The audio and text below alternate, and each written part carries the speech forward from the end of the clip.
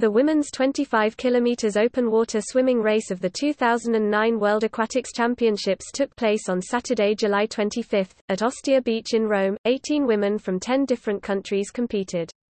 Angela Maurer of Germany took home the gold with a time of 5 hours 47 minutes and 48 seconds. 0 just pipping Anna Uvarova at the finish by 3.9 seconds.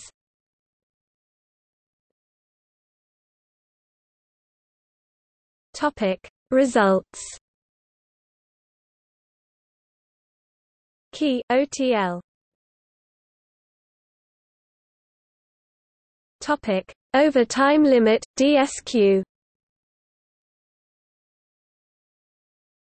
Disqualified DNF Topic. Did not finish DNS Did not start. Topic. See also. Open water swimming at the 2007 World Aquatics Championships, women's 25 kilometers